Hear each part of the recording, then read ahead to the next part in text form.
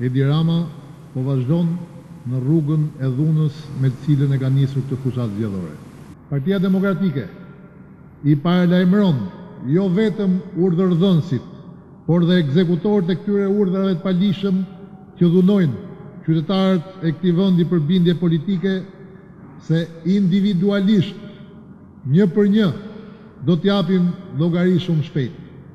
Partia Demokratike i bën thirrje misionit të OSBE-së dhe ODIHR-it, si dhe përfaqësive diplomatike të Shteteve të Bashkuara dhe Bashkimit Evropian të monitorojnë nga afër këtë përshkallëzim të dhunës dhe terrorit qeveritar.